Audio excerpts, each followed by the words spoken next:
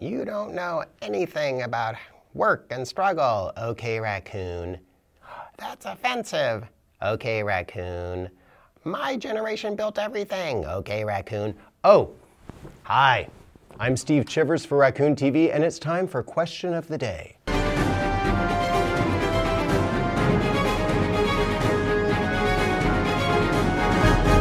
And today's question is about a new meme that's circulating OK Boomer.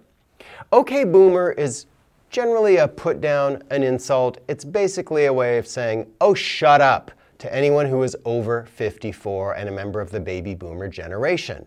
Millennials and Generation Z that feel like they've been left a world that's falling apart, that's burning up, and there's no money left, and it's all the fault of those damn boomers. So when the boomers start going on about how those kids don't know nothing, you just say, okay, boomer, okay, boomer, okay, boomer.